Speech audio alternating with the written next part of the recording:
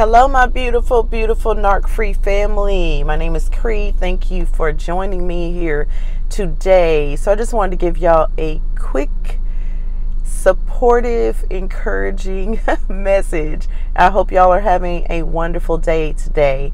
Uh, so, once you've gone through a relationship with a narcissist and the relationship is over, and maybe you are feeling defeated because you are thinking about how much time you wasted, how much energy you put out for them. Some of y'all, it's um, financial. You're thinking about how you may have helped them with a business, how, um, you know, financially you may have extended them, you know, credit or you may have given them money to help them with something and you're you're putting together that all of this that you put out that you were basically conned out of this time, this energy, this sex, this you were conned out of all of this um, in the thinking that this was a real relationship, only to find out that it was not. And you can get in the way of starting to think that you are a victim of the abuse, but I want you to look at it just a little bit differently. Now, you can be a victim of the abuse, it's your choice. This part, the narcissist has nothing to do with. This right here, this deciding factor, whether you are going to be the victim of the abuse or whether you're going to be the victor of the abuse. Okay? Because you can come out of this real victorious um, they can push you to new levels because once you get out of it, you go and you start seeking help. You start looking at videos trying to see what in the what happened here. You don't even know what happened. You're so confused. Uh, you didn't know that this existed. You know you're you're you're trying to figure out what what just happened here. How does how does this happen? How does this person you were with go from this to being like this? And, you know, why did you feel stuck in all of that? Okay. But you go and you get the research. Okay. You see what it is. And now you decide I'm going to stay stuck, which is what the narcissist wants. Because if you stay stuck, they get to come back and hoover you later on. So they're hoping that you will stay stuck. Or you move on, you go onwards and upwards, you get your healing, and then guess what? You're not stuck. You learned from the mistake of being with them. You learned what red flags were. You learned about gaslighting. You learned about triangulation. Um, you learned about all of these things. And now when you're in another relationship later down the road and you meet someone and they're trying to switch everything up on you, you know exactly what they're doing. you know exactly what they're doing. And you don't need to be hyper vigilant with people. Just pay attention to what they're doing.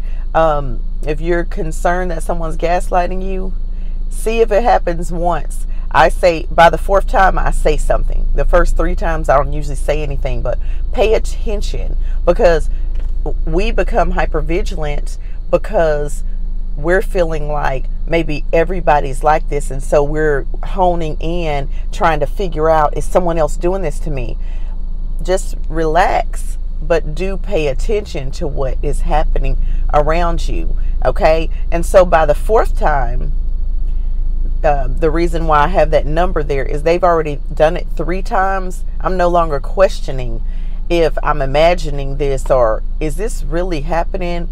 Are there more people out here that do this that tell you one thing and it's totally the opposite? You know, then it's not you overthinking, it's none of that. You are being gaslit. And that fourth time, um, you know, usually I will say something. Sometimes I won't. I'll just let it go. And there's a lot of disappointment that comes with finding out that there are, this is more common than you thought it was. I feel like it's really disappointing when you meet people and you're like, "Dang. you're gaslighting and this is how you get through life like by manipulating people." But it's neither here nor there. The topic of this video is about being victorious. So if we keep our thoughts on the things that are working out good, like the mere fact that you're no longer in a relationship with a narcissist, if you're out of that relationship, those of you who are still in a relationship with a narcissist and you're wanting to get out, the mere fact that you know and you have a choice should make you feel victorious. Because if you don't know what you're dealing with, you're just totally getting conned. If you know what you're dealing with, because I know some people who are with narcissists, they've done the research, they know that this person has this disorder, but they choose to stay with them, then you're doing it by choice. But when you don't know, you're being conned, okay? So, it's up to you, but now at least you can choose to be victorious. Hey, I choose to be with this person, even though I know that they have this disorder. Okay, um, then it's it's a choice. All right, people who feel victimized by a narcissist don't feel like they had a choice. All right, so your victory is on the other side. It's on all the decisions you make after afterwards, after you've been discarded or after you've had to get out of the relationship because of the way that they were treating you, because of all the gaslighting, because of the triangulation, because of all of the crazy making and the arguments that they try to cause for no reason at all, just because they need a certain level of dysfunction. Too much peace is hard for them. They need to be in that constant state of trauma where there's disagreements and um, that the attention is taken off of good things or fun things or happiness or joy and put onto them and their behavior. And uh, that's why they mess up holidays you know birthdays and they mess up vacations and they mess up because the attention and the energy and the focus is off of them and they need to get it back onto them. Okay. So you are in a position when you're no longer in a relationship with them to focus on being victorious. And they will still try to get your energy, they will still try to be relevant. Okay. Because if you've been in a relationship with a narcissist, um, you know that they want to remain relevant because they don't want you moving onwards and upwards. All right, glowing up, going up, taking those trips, living that life. If your life, if your your life's desire or your your desire, I don't know if life's desire is even a thing, but if you desired in your heart to travel the world, the whole world, okay, they're not going to want you traveling. Um, if you're a happy person, they're not going to want you happy. They want everything that's the opposite of who you are, and their goal is to try to make everything be the opposite, okay? But now you have a choice in how much of your energy you will allow them to have. And my recommendation is after that relationship that you starve them of your energy. And this this tip right here, because this is something I'm still having to work on. Those of us that have children with a narcissist, they're always still playing these games and they're using the kids. So it's kind of hard um, because, in order for you to keep everybody in the loop of what's going on of the new game, you find yourself constantly talking about what it is they're doing to you. Okay. And um, they don't usually stop. And when I say don't stop, uh, CPS is on the list of things, level new levels that they will go to. So y'all that have children with them, don't think that they won't make up a false story and call CPS on you because they absolutely will. All right. Um, so your issues, if you have children with them, are going to be a little different than someone who had no children with them and could really just block them.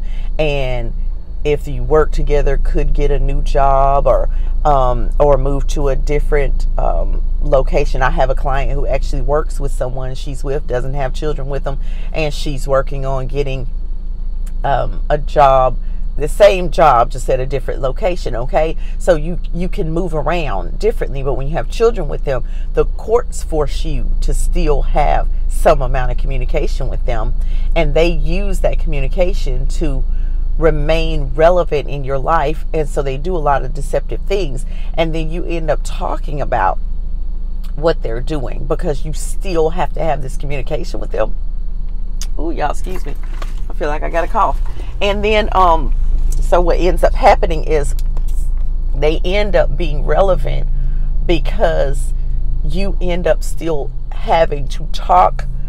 You have to tell your friends and things what's going on so that they know what's happening with you okay? So what i want to recommend you do is keep that to a minimum if you can and you have privacy in your phone i don't but if y'all got privacy in your phone you could just start a some kind of group text. That way you just putting people on notice letting them know what's happened. So you've sent one message or you've done a video and explain what's going on and you've sent it to everybody. And so you're not constantly going over it again and again. I hope that tip is helpful because you guys, I'm still on the journey myself so I can coach people, and I do coach people, but new things arise, new issues that I have to find new solutions for. And as I am still in the healing journey, this is something new that I'm working on is how much am I talking about what the narcissist is still doing? Because if you want to starve them of your energy, you have to take talking about them to an all time low because even though you may not care about them at all and you still have children with them, their whole goal is to make themselves still relevant in your life. Your goal is to make them irrelevant. So y'all go and make the decision to be uh, instead of a victim, a victor by starving that narcissist.